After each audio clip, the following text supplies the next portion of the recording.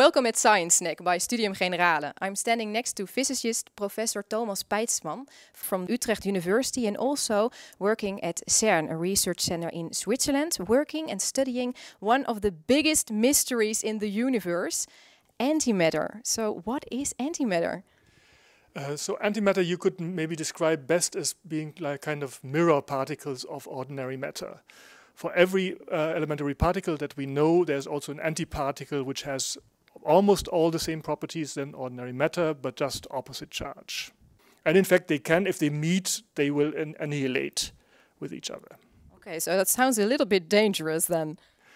Well, in fact, antimatter is not around so much in so much um, abundant form, so it, it uh, does not happen by itself that matter and antimatter meet. And what makes antimatter one of the biggest mysteries in the universe? Big mystery is that in principle our universe was from the very start symmetric with respect to antimatter and antimatter, so there would have been equal amounts of matter and antimatter. All the physics laws appear to be symmetric, so antimatter and matter behave similarly. But at this very moment, we have a surplus of matter in the universe which allows us to exist because otherwise, as I said, if there would be equal amounts of matter and antimatter, we would be gone, we would be annihilated together with uh, antimatter that would be around. So the origin of this asymmetry, this, this additional matter that is around, uh, is not solved. And what is a possible explanation?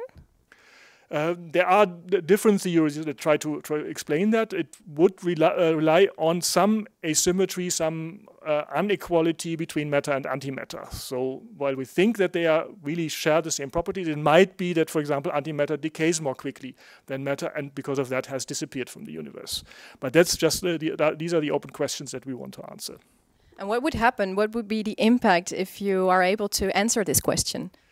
So maybe I have to disappoint people. They, uh, this antimatter will not have a technological consequences. We will not travel like in Star Trek at uh, um, speeds faster than light, but it will be one of the, as you said, one of the biggest puzzles of, of uh, physics that will be solved. It may actually also be that it will completely overthrow our current theory, and we have to really think completely fresh on how we build up uh, the theory of, of physics of the universe. Yeah, so it would change fundamentally how we look at the universe then. That could happen, yes. It could potentially happen. Wow. So it's a really exciting time then and really exciting to uh, do research on this stuff.